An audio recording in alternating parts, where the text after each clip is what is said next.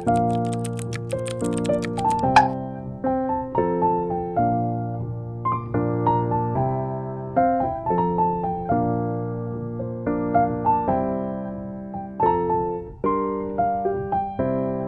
everyone! Welcome back to my YouTube channel. So, um, if hindi pa kayo nakasubscribe, nanibago bigla. Tagal ko nang hindi nag-video. If makita nyo sa mga, sa, sa channel ko, kung makikita nyo doon, like last year pa yung last. Kasi nga, medyo madaming ginagawa, ganyan. So, nakalimutan. And ngayon, magme-make time na ulit ako para makapag-video kasi kailangan namin kumita ng pera. Kaya, para matulungan nyo kami, mag-subscribe na kayo sa YouTube channel ko, which is ito, kung saan kayo nanonood. And, click nyo na yung notification bell para updated kayo sa mga videos na i-upload namin. So, this time, hindi lang ako mag-isa yung mag-video kasi um, niyaya ko na siya, yung boyfriend ko, ayan, nagda-drive siya, na samahan ako mag-video kasi nga, shy type kasi ako guys eh. Hindi kasi ako maano, hindi ako, ano tawag dun? Extro.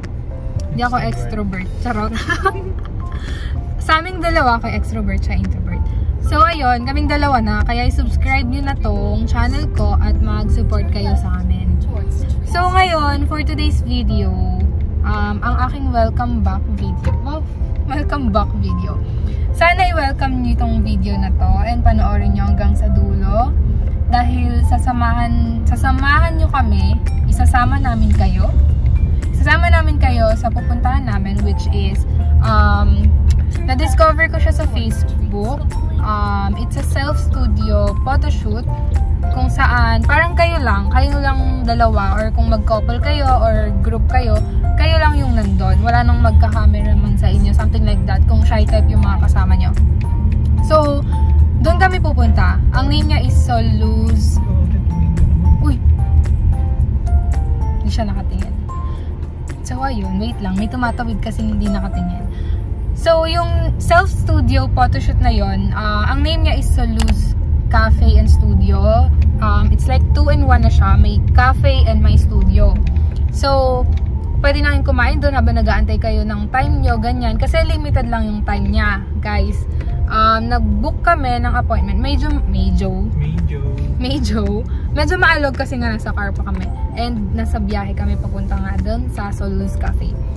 And dapat mag-book kayo ng appointment doon guys. Hindi siya basta-basta yung like walk-in. Hindi siya ganon. Kasi, um, yun nga, limited yung oras. 20 minutes lang yung photoshoot nyo. May instruction pa. Syempre, kasi hindi man lahat is parang uh, marunong dun sa camera. Parang ganon. So, instruction pa. And then, printing pa. And mamimili din kayo kung gusto nyo kunin lahat ng soft copy. May additional lang. So, nag-book kami doon uh, for today, March, ano ba ngayon? 19, March 19. And kaya kami magpapa photoshoot is yun nga para maka maayos yung picture namin sa page namin and intro namin sa YouTube. So, ayun. And then, um, nag-book kami, yun na nga, um, 1.30pm yung schedule namin kasi meron kaming gagawin din later kaya hindi kami pwede ng hapon na hapon. And, yun, bali yung nakuha namin is couple package siya, which is 399 pesos for 20 minutes na photo shoot. And, may additional siya, 200 pesos yata kapag gusto nyo kunin yung soft copy. Ililink ko na lang sa baba yung Facebook page nila guys, at tapos check nyo na lang. And also yung parang package nila. Ayan, nandalagay ko na lang dun sa screen. Tignan nyo na lang dyan. So, yun, samahan nyo kami and nandito pa lang kami sa Kainta. Kain, pakainta pa lang. And sa Taytay pala siya guys, ha? Taytay. So, yun. Kita-kita na lang tayo doon and see you later.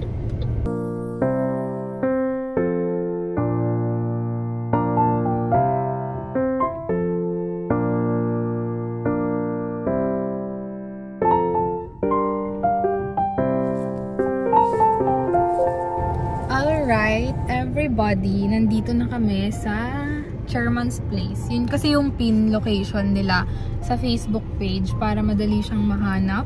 And parang ilang minutes tayo nagbiyahe? Siguro mga 30 minutes kami bumiyahe, ganun. So, nandito na kami and maaga kami ng 30 minutes. So, mas good na yon. Uh, mas good na yung maaga kayo ng 30 minutes kesa naman yung maubos yung 20 minutes nyo pang photoshoot. So, akit na kami and we'll see you there.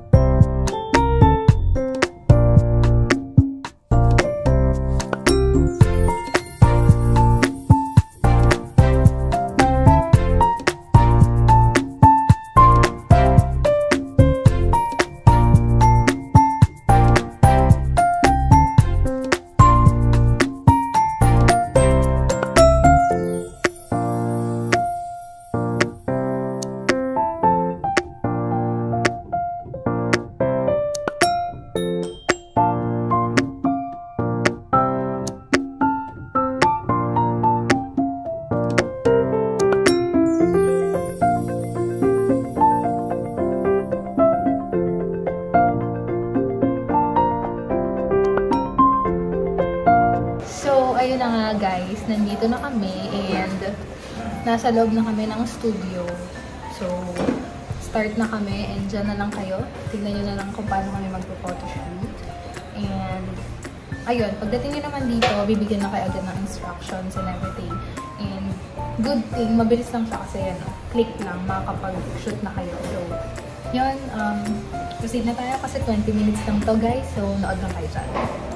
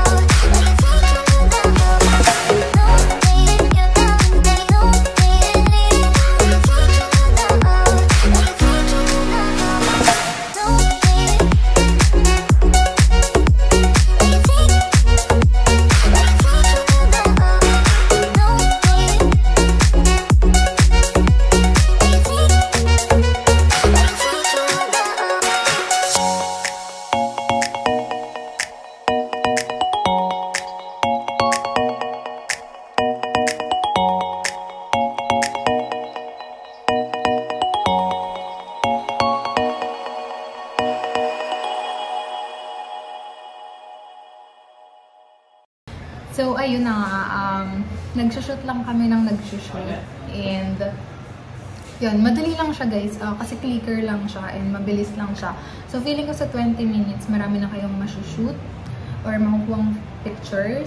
And sulit na sulit niya siya. Tapos may cafe pa. So, ayun, nakaka-excite. So, punta na kayo dito guys. Wait lang, by the way. Hindi yan muta guys. Glitters yan. So, yun. Papakita ko sa inyo yung mga result later. And meron din silang in-stocks. Pwede nyo ipa-in-stocks print, yung makukuha yung pictures. So, yun, nag-solo na ako, nag-solo na siya, and nag-couple na rin kami, and ngayon mga random photos na lang din. So, sobrang sulit na sulit, and may time kayo para makapagpalit. So, if you guys want to check this out, and itong self-studio photoshoot, punta na kayo dito sa Soluz Cafe and Studio. So, dyan lang kayo, antayin nyo na kami. Yung brown suot ko. Yung, ayun, yung gano'n na lang, naka, may upuan. Hindi yan. Yung parang may upuan na lang. Yan, ganyan. Ay, nakapili ka na dyan? Oo. Oh, yun na lang, yung nakatayo na lang. Ha? Ayan, gusto mo ba yan? Sige, yun na lang yung nakatayo. Yan. 07 to. So, ayun. Update, guys. Tapos na kami mag-photoshoot, umorder ng food. And, Waiting na. waiting na lang kami dun sa food. Hindi pa kasi talaga kami kumakain eh. Kaya sabi ko, kain na kami dito. Para matry na rin namin since nandito nga kami. And so far, interview natin siya kung anong feeling. Ito yung camera, nalilito kasi ako eh.